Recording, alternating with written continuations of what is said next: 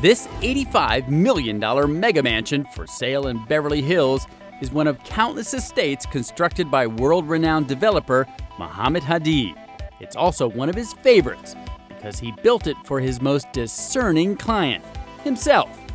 Yes, Hadid lived in this palatial pad for about a decade, along with his famous family. Was this the house that Bella and Gigi grew up in? They have spent a lot of time here, yes.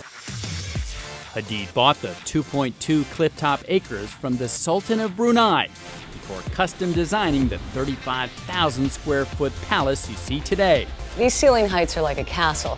Muhammad and his real estate broker Stacy Gottula gave us the grand tour, starting on the first floor, where you'll find a Parisian style sitting room, a formal dining room dripping in crystal, and not one but two family rooms off the colossal kitchen. The details of this house you won't find in any other home. You can tell it was built with love.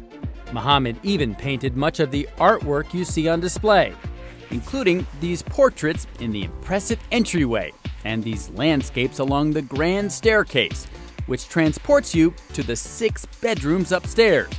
This one was Gigi's, just down the hall from her dad's personal paradise, a 5,000 square foot master suite, cloaked in custom silk that also includes Muhammad's closet, which could be mistaken for a small department store. It's incredible.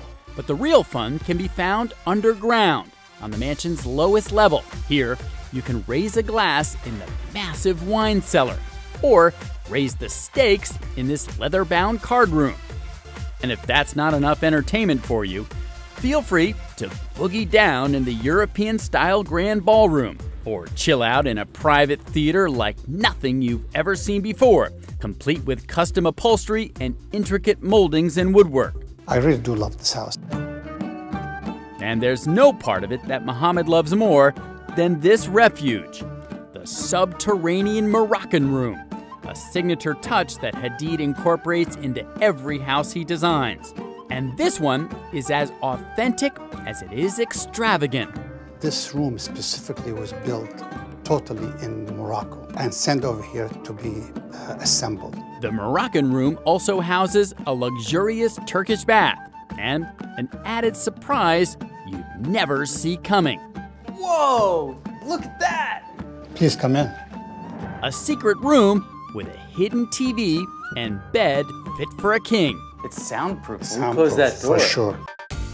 Of course, if the secret room is occupied, you can always unwind on the estate's pristine grounds.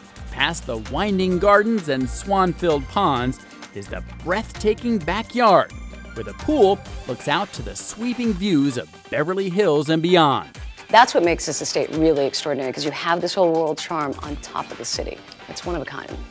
Still, Muhammad says he's ready now to let someone else enjoy his one of a kind masterpiece.